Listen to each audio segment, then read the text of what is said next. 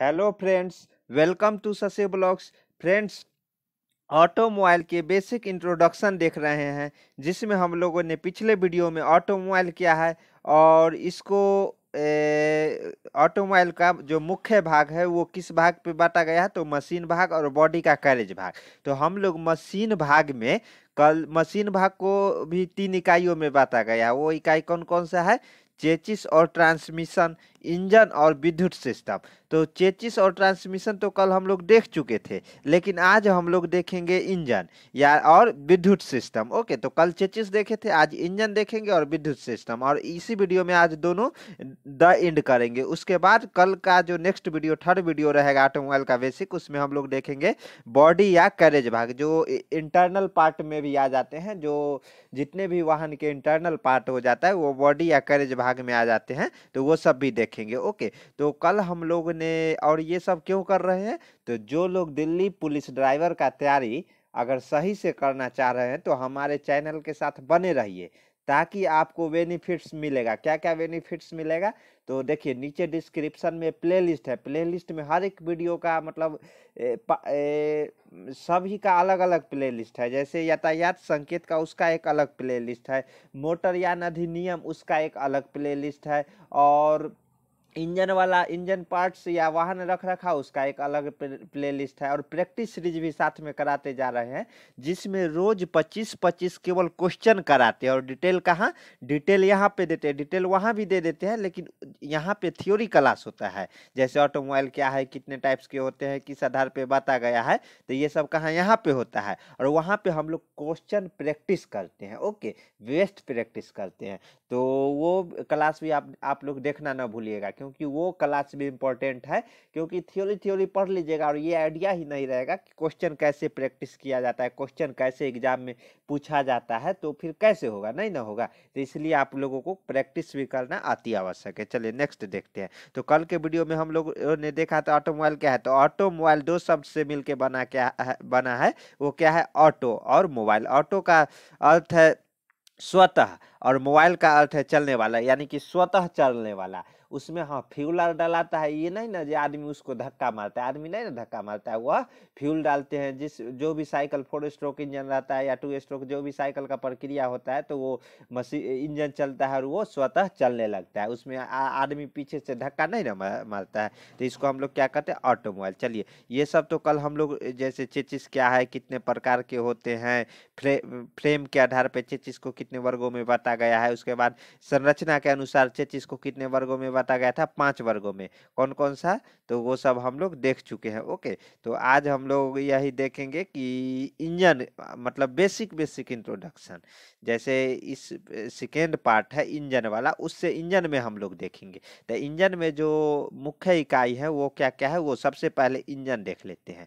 Engine के बारे में तो हम एक स्पेशल वीडियो भी ला चुके हैं। डिस्क्रिप्शन के, के प्ले लिस्ट है उसमें जाके देखिएगा इंजन कब आया पहले कौन सा इंजन आया उसके बाद टू स्ट्रोक इंजन कैसे काम करता है, उस पर भी एक स्पेशल वीडियो लाए हैं। एकदम प्रैक्टिकल व्यू में मतलब थ्री डी एनालिसिस करके समझाए हैं कि अंदर, इंजन के अंदर पेट्रोल कैसे जलता है ओके तो वो सब आप नहीं देखे हैं तो वो देखिए, उसके बाद ये भी पावर पावर ट्रांसमिशन सिस्टम भी बताए हैं कि अगर इंजन से हमें पावर मिलता है तो उसको व्हील तक, यानी चक्का तक कैसे पहुँचाया जाता है। उसमें क्लच का क्या काम है गियर का क्या काम है डिफरेंशियल का क्या काम है, सब कुछ बताए हैं। बीच में क्या क्या लगा रहता है उसके बाद ये भी उस वीडियो में बताए हैं कि एक नंबर गियर में कैसे गाड़ी चलता है दो नंबर में कैसे चलता है तीन नंबर में और चार नंबर और पाँच और रिवर्स न, रिवर्स में गाड़ी कैसे चलता है। तो वो वीडियो जाके देखिए सब समझ में आ जाएगा पूरा क्रिस्ट, क्रिस्टल क्लियर हो जाएगा। चलिए देखते हैं सबसे पहले इंजन का बेसिक इंट्रो क्या है। देखिए। ऑटोमोबाइल में इंजन एक शक्ति का स्रोत है। ज़रूर पावर, क्योंकि इंजन से ही हमें पावर मिलता है। अगर मान लीजिए कोई वाहन है, वाहन में अगर हम इंजन निकाल दें तो वो क्या डब्बा हो जाएगा। यानी कि वो ऐड सुने थे ना, डब्बा है, डब्बा, अंकल का टीवी डब्बा तो वही हो जाएगा इंजन। इंजन अगर निकाल लेंगे तो क्या होगा कि वो डब्बा हो जाएगा, जिसकी सहायता से किसी भी प्रकार की ऊर्जा ऊर्जा को, यांत्रिक ऊर्जा में रूपांतरण किया जाए। किसी प्रकार के ऊर्जा क्यों बोला जाता है? क्योंकि एक हीट इंजन होता है।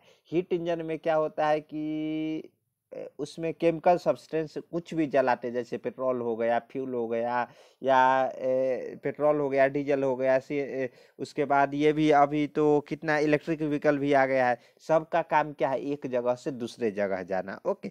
तो उसको क्या, जैसे वो एक जगह से दूसरे, उसमें मैकेनिकल वर्क लगता है तो उसी को यांत्रिक ऊर्जा, यानी कि मैकेनिकल वर्क प्राप्त करते हैं ना, उसको हम लोग इंजन बोलते हैं, लेकिन एक बात हम आप लोगों को बता दें कि इलेक्ट्रिक इंजन आप सुने हैं, ज़्यादातर सुन, अगर अगर अच्छा अच्छा ये बोल तो बहुत देते हैं, इलेक्ट्रिक इंजन नहीं होता है, इलेक्ट्रिकल व्हीकल होता है, क्योंकि इलेक्ट्रिकल इंजन कुछ है ही नहीं, वो क्या होता है, उसमें बैटरी लगा रहता है, उसमें मोटर लगा, इलेक्ट्रिक मोटर बोल सकते हैं, इलेक्ट्रिक इंजन नहीं बोल सकते, इंजन हम लोग उसको बोलते हैं जो केमिकल एनर्जी केमिकल एनर्जी कहने का मतलब फ्लूड फ्लूड हो गया, जैसे फ्लूड के अंतर्गत क्या आता है लिक्विड भी और एयर भी। उसको हम लोग केमिकल एनर्जी को हीट एनर्जी में कन्वर्ट करते हैं और हीट एनर्जी से हम लोग मैकेनिकल एनर्जी यानी कि क्या क्या क्या क्या प्रोसेस है देखिए।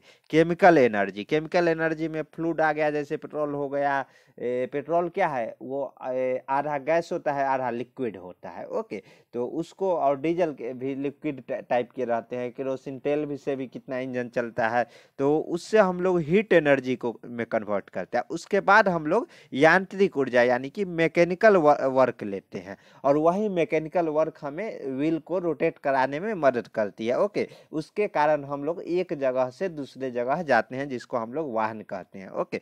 तो यही है। तो रूपांतरण होता है, यह इंजन निम्नलिखित प्रणालियों में संयुक्त होते हैं। मतलब ये बोला है कि इंजन के प्रमुख इकाई हैं। तो वो इकाई क्या है? पहले तो हम लोग इंजन क्या है, वो समझ गए कि केमिकल एनर्जी को हेट एनर्जी में कन्वर्ट करता है। और हेट एनर्जी से मैकेनिकल एनर्जी, यानी कि मैकेनिकल, यानी ये कहे रासायनिक जो ऊर्जा है, उसको किसमें?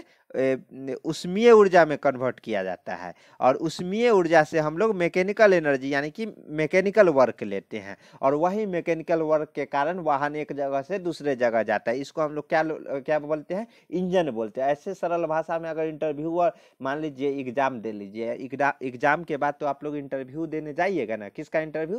तो Bihar police driver sorry, Bihar नहीं, दिल्ली पुलिस ड्राइवर का।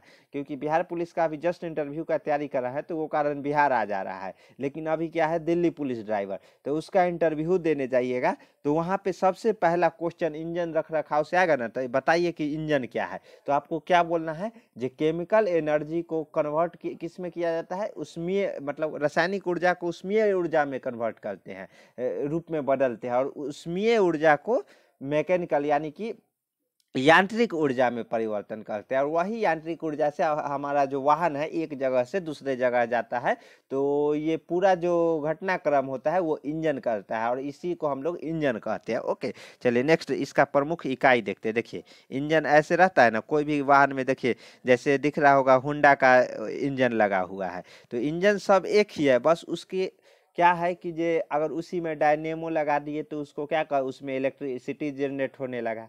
उसी में हम लोग अगर ए, क्या क्रैंक साफ्ट लगा के और उसमें क्लच और गियर बॉक्स और व्हील लगा दिए तो वाहन बन जाता है उस पर चेचिस वगैरह फिट कर दिए तो। लेकिन अगर उसी में हम लोग पंप लगा दिए तो वो बोर पंप बन जाता है मशीन तो वही इंजन एक ही है। बस उसको हम लोग काम अलग अलग अलग पर्पज से करते हैं। ओके तो वही है। हर एक इंजन का परिभाषा ये मत सोच लीजिएगा जो सर जो ये बताइए जे वाहन में जो इंजन लगता है उसका परिभाषा अलग है जो प, ए, वाटर पंप में इंजन लगता है उसका अलग है क्या? नहीं सबका एक ही है काम एक ही है बस उसका जो यूज़ करने का तरीका है जो नज़रिया है वो अलग अलग रहता है। ओके चलिए देखते हैं।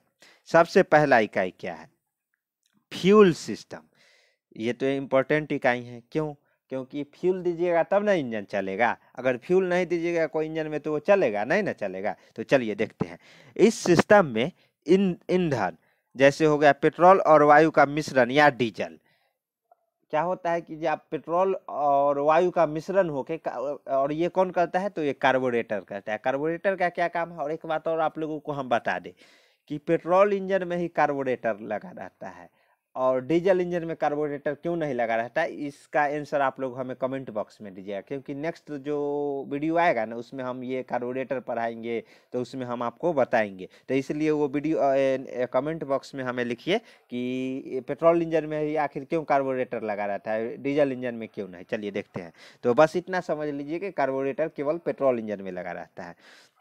इस सिस्टम में ईंधन की वांछित मात्रा डालकर दाब उत्पन्न किया जाता है जो पिस्टन को धक्का मारता है यानी कि पावर जनरेट किया।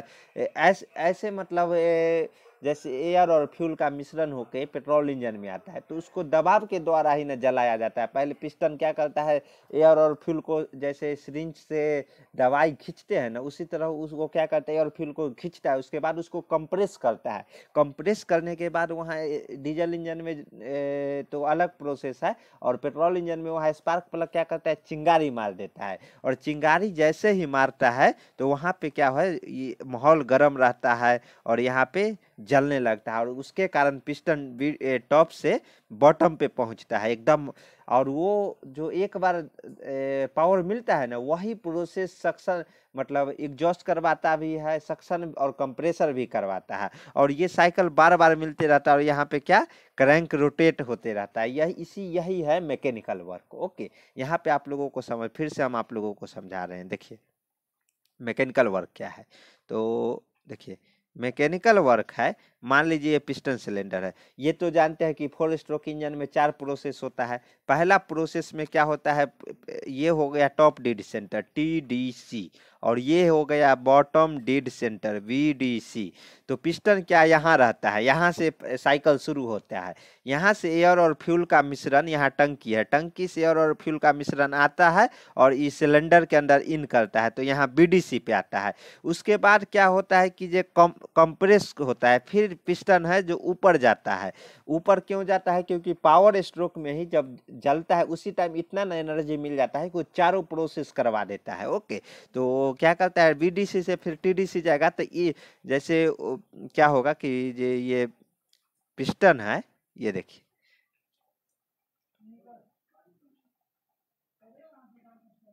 पिस्टन है जो कहाँ से जाएगा? जब फ्यूल आ जाएगा तो दूसरा प्रोसेस शुरू होगा और वो जाएगा टीडीसी पे। तो यहाँ से यहाँ जाएगा तो यहाँ पे पूरा एकदम तो यहाँ पे माहौल गर्म हो जाएगा ना, क्योंकि एयर फ्यूल को वो क्या कर रहा है? कंप्रेस कर रहा है। कंप्रेसर होगा तो वहाँ प्रेशर और टेम्परेचर दोनों बढ़ जाएगा।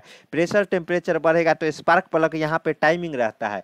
ये करेगा कि स्पार्क हल्का चिंगारी मार देगा। स्पार्क प्लग क्या है? तब मामा है। मामा क्या है? कि माहौल यहाँ पे गर्म है। देखे कि जब तो माहौल गर्म है, अब मेरा चिंगारी काम कर जाएगा।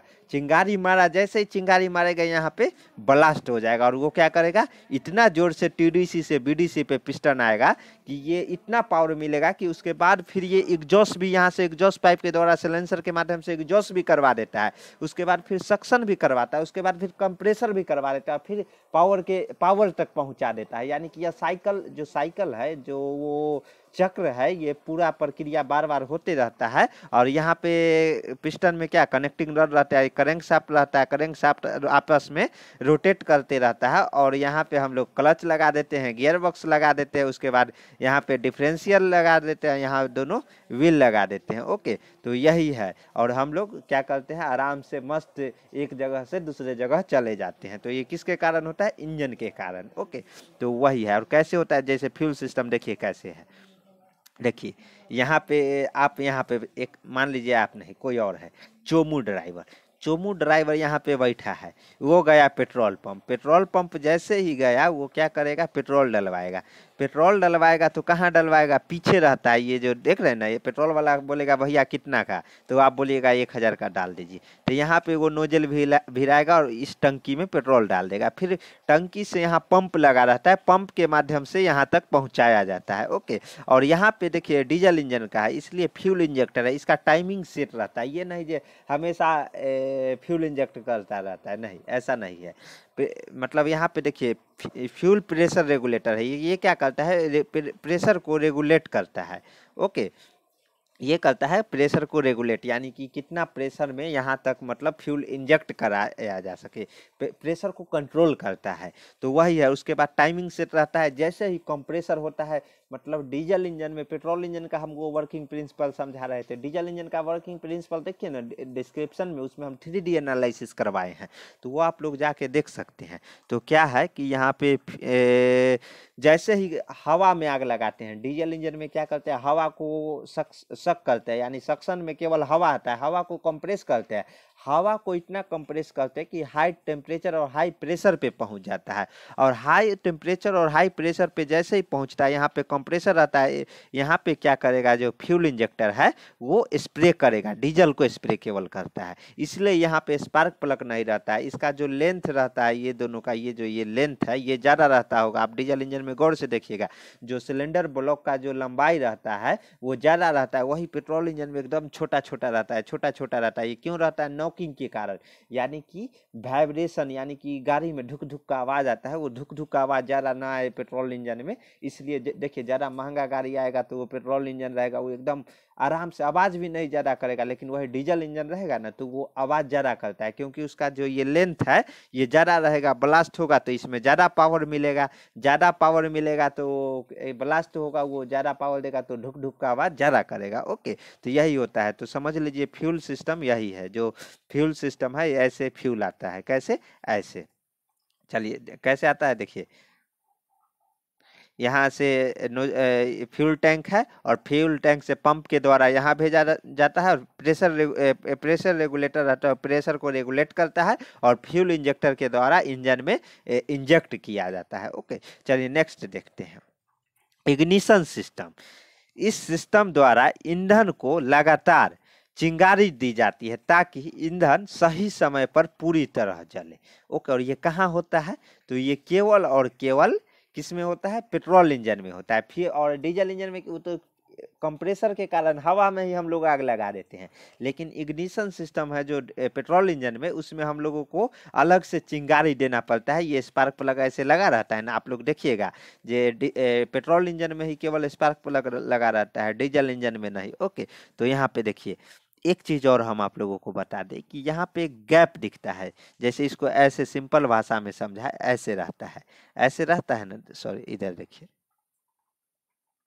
जैसे ये रहा और ऐसे जाता है और ऐसे आता है। लेकिन यहाँ पे क्या रहता है कि थोड़ा गैप रहता है। गैप क्यों रहता है कि यहाँ से हम लोग क्या करते हैं, विद्युत को प्रभाव करते हैं। जैसे एक आया ना, यहाँ से हाई वोल्टेज करंट आ रहा है। हाई वोल्टेज और हाई करंट आ रहा है। जैसे ही यहाँ पे हाई वोल्टेज आएगा थोड़ा गैप रहता है ना तो इसकी चाहत क्या रहती है कि हम यहाँ तक मतलब यहाँ तक जाए। लेकिन चाहत रहती है, लेकिन यहाँ पे क्या है, गैप है। तो वो गैप के कारण वो यहाँ तक नहीं पहुँच पाता और यहाँ बीच में क्या है, एयर है। एयर रहता है बीच में। तो क्या चाहेगा, हाई वोल्टेज और हाई प्रेशर के कारण आना तो चाह रहा है, लेकिन आने नहीं दिया जा रहा है। अगर सीधा अगर ये ऐसे रहता, जैसे ऐसे और ऐसे केवल रहता तो क्या यहाँ आता और यहाँ से चला जाता? कोई मतलब रहता नहीं। लेकिन बीच में यहाँ पे क्या किया जाता है? थोड़ा गैप दे दिया जाता है ताकि हाई वोल्टेज से आए ना। तो बीच में एयर दिखे, वो कारण ये यहाँ आएगा। लेकिन थोड़ा चिंगारी मारते हुए आता है। वो कारण यहाँ पे चिंगारी उत्पन्न हो जाता है और वही चिंगारी, एक चिंगारी क्या करता है कि सिलेंडर के अंदर ब्लास्ट करवा देता है। बोलता है ना जो एक चिंगारी ही पूरा मतलब ए, समाज को ले डूबेगा। तो वही यहाँ एक समाज है सिलेंडर के अंदर ए, फ्यूल और एयर का मिक्सर और वो हाई टेम्परेचर और हाई प्रेशर पे रहता है और यही एक चिंगारी पूरा ब्लास्ट करवा देता है। ओके और चिंगारी कैसे? यही जो गैप के कारण रहता है। और यही गैप ना कभी कभी आप ये सुनते होंगे कि कार्बन लग गया ये तो कार्बन लगता है तो ये होता है कि यहाँ तक हाई वोल्टेज और हाई टेम्परेचर नहीं पहुँच पाता हाई करंट नहीं पहुँच पाता है। लेकिन अगर यही दोनों कोई कारण पर गंदा फंस गया, कुछ फंस गया, तब भी नहीं जल पाता है फायरिंग ऑर्डर सही नहीं हो पाता है। तो वही, यही सब के कारण होता है। ये देख, देखिए, ये सब एकदम प्रैक्टिकल व्यू में समझिए, ताकि आप कभी नहीं भूल पाइएगा। मान लीजिए आपको हम समझा दे, देखिए ऐसा है, यहाँ से करंट बैटरी से करंट आ रहा है करंट आने के बाद क्या होता है कि यहाँ से करंट आया, ये देखिए, बैटरी है, बैटरी से करंट आया और करंट के कारण चिंगारी निकलता है, लेकिन क्यों निकलता है, ये समझिए, क्यों निकलता है, ये गैप के कारण निकलता है, ओके।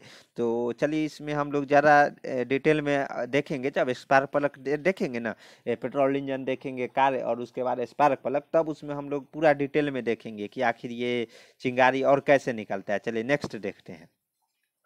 लुब्रिकेशन प्रणाली। लुब्रिकेशन सिस्टम द्वारा इंजन के सभी भागों का लुब्रिकेशन ऑयल की पूर्ति किया जाता है ताकि वे अच्छी तरह से कार्य कर। लुब्रिके देखिए लुब्रिकेशन सिस्टम है, वो क्यों किया जाता है? क्योंकि इंजन है, क्या रोटेट कर रहा है हाई स्पीड और मतलब हाई स्पीड यानी कि उसका जो उमेगा है, वो हाई रहता है। तो वहाँ पे क्या बहुत ऐसे कंपोनेंट रहते हैं जो लोहे के बने रहते हैं तो आपस में घिस घिस के खराब हो जाएगा।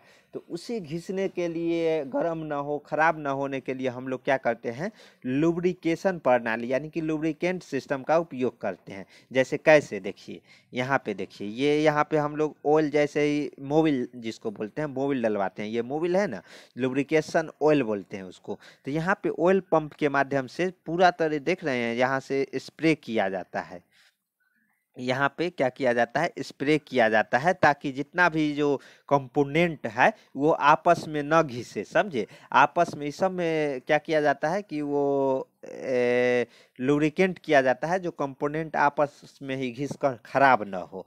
तो इसलिए हम लोग और बहुत सारा जैसे इंजन जैसे ये सबको अगर आपस में घिस जाएगा तो उसका लाइफ भी कम जाएगा। तो ये सब सेफ्टी के पर्पज से बहुत ही, जो कंपोनेंट के सेफ्टी के पर्पज से बहुत ही इम्पोर्टेंट है। ओके, उसके बाद देखते हैं क्या है। जब लुब्रिकेटिंग सिस्टम हम लोग नहीं पढ़े उसमें हम लोग डिटेल में देखेंगे और इसका टाइप्स भी देखेंगे। ओके, और ये सम पार का क्या कार्य है, उसका वर्किंग प्रिंसिपल भी देखेंगे। जैसे ये है ना, लुब्रिकेटिंग सम्प है, ऑयल फ़िल्टर है, ये सब का ऑयल पंप है, ये सब का हम वर्किंग प्रिंसिपल एकदम डिटेल में में देखेंगे। अभी तो हम बेसिक बेसिक इंट्रोडक्शन देख रहे हैं। चलिए नेक्स्ट देखते हैं। कूलिंग कूलिंग प्रणाली। इस सिद्धांत द्वारा इंजन को ठंडा किया जाता है। और ताकि मतलब जो अच्छा इंजन रेडिएटर हम पढ़ाए थे, उसमें इंजन कूलिंग सिस्टम के बारे में पूरा पढ़ा चुके हैं। तो वो आप लोग जाके वीडियो देखिए। रेडिएटर वाला एकदम तीन वीडियो है, वो भी झमाझम वाला फील लेकर और तब देखिए, एकदम मज़ा आ जाएगा आपको। बताए ना, ऐसा मज़ा आएगा जो आप कभी सोचे नहीं होंगे। उसमें हम लोग क्या किए हैं, प्रैक्टिकल व्यू में इसमें बताए हैं कि रेडिएटर काम कैसे करता है, कूलिंग, इंजन कूलिंग सिस्टम कैसे करता है, समझे? तो वो आप लोग, और इंजन को ठंडा क्यों रखना अति आवश्यक है? तो ये इसमें हम नहीं इतना समझ लीजिए, हम ये बताएँगे कि इंजन को ठंडा रखने के लिए कूलिंग सिस्टम का उपयोग किया जाता है। और अगर ये डिटेल में जानना है तो ये वीडियो इसी हमारे प्लेलिस्ट डिस्क्रिप्शन के जो इंजन पार्ट्स वाला प्लेलिस्ट है, उसमें वो वीडियो तीनों रखा हुआ है, आप लोग जाके देख सकते हैं। ओके, और ये देखिए, जैसे कूलिंग सिस्टम, ये सब बताए थे एकदम, हाउ वाला फील मतलब झमाझम वाला फील लेके हम बताए तो इसलिए आप लोग जाके वो वीडियो देखिए। ओके, चलिए, नेक्स्ट देखते हैं। अब तीसरा आया विद्युत, जैसे इंजन हो गया, विद्युत प्रणाली भी, विद्युत प्रणाली के अंतर्गत क्या क्या आता है, ये देखते हैं। इस सिस्टम के द्वारा electrical gas headlight signal light, brake light parking light wiper आदि चलते हैं। यानी कि इस सिस्टम के द्वारा जैसे हेडलाइट हो गया इलेक्ट्रिक गैस गैस हो गया हेडलाइट हो गया, सिग्नल लाइट हो गया, ब्रेक लाइट हो गया, पार्किंग लाइट या वाइपर आदि, किसके माध्यम, विद्युत मतलब करंट के द्वारा ही चलता है ना? तो उसमें कैसे मतलब बैटरी लगा रहता है, बैटरी को कैसे चार्जेबल बनाया गया है, वो जब हम पढ़ाएँगे ना अपने वाहन का बैटरी ये टॉपिक रहेगा तो उसमें बताएँगे पूरा। लेकिन इतना समझ लीजिए ऑटोमोबाइल विद्युत सिस्टम में विद्युत सिस्टम निम्नलिखित पार्ट में होते हैं। बैटरी डायनेमो, उसके बाद अल्टरनेटर लाइटिंग सिस्टम और एक चार में वायरिंग भी जोड़ लीजिए। वायरिंग भी एक इम्पोर्टेंट पार्ट है ओके तो ये सब क्या चीज़ है? विद्युत सिस्टम प्रणाली का पार्ट है ओके तो आज हम लोग यहीं रहने देख, देते हैं और आई होप आप लोगों को ये जितना भी हम बताए हैं, ये सब आप लोगों को अच्छा लगा हो अच्छा लगा होगा मतलब वीडियो जो भी बताए। तो आप लोग क्या कीजिएगा कि हमसे और भी अधिक अगर इस तरह के वीडियो चाह रहे हैं तो आपको क्या करना पड़ता पहले तो चैनल को सब्सक्राइब कर लीजिए। उसके बाद टेलीग्राम का ग्रुप है, वो नीचे डिस्क्रिप्शन में उसका लिंक है, वहाँ से जाके टेलीग्राम ज्वाइन कर लीजिए ताकि जो भी अपडेट होगा वो आप तक जल्दी से जल्दी पहुँचे, क्योंकि उसमें 600 प्लस मेंबर अभी तक दिल्ली पुलिस ड्राइवर का जो ग्रुप है, उसमें जुड़ चुके हैं। तो आप भी उस ग्रुप के हिस्सेदारी बनिए और जो भी अपडेट होगा वो आप तक जल्दी पहुंचेगा। और उसमें हम लोग सोचे हैं, जब seventy percent seventy five percent अगर हो जाएगा ना पूरा अपना ये यातायात वाहन रख रखाव यातायात संकेत से, जितना भी सिलेबस है तो उसमें क्यूज करवाएँगे। क्यूज क्या रहेगा कि उसमें क्वेश्चन रोज पचास पचास क्वेश्चन देंगे एकदम पोल के टाइप में। आपको उसको आंसर देना है, लेकिन वो कब करवाएँगे? जब अभी प्रैक्टिस सीरीज़ चल रहा है। प्रैक्टिस सीरीज़ प्रैक्टिस सेट खत्म हो जाएगा ना, लगभग पचास साठ प्रैक्टिस सेट सोचे हैं कि यही से पचास नंबर के पचास क्वेश्चन करते हैं, रोज चलता है ये। तो इसके बाद हमको काम करेंगे, वो कहाँ करेंगे? टेलीग्राम ग्रुप पे करेंगे। और अभी जो प्रैक्टिस सीरीज़ है, वो कहाँ चल रहा है? तो हमारे यूट्यूब चैनल जो शशि ब्लॉग्स है, यही जिस पे अभी हम है, यही पे चल रहा है। तो इसके लिए क्या करना है? चैनल को सब्सक्राइब कर लेना है वेल आइकन को दबा देना है, ताकि जो भी नोटिफिकेशन हो, वो आप तक जल्दी से जल्दी पहुँचे और उसका आप लाभ उठाए। और वीडियो अच्छा लगा है तो आप लाइक कर दीजिए। मिलते हैं नेक्स्ट वीडियो में। धन्यवाद। जय हिंद।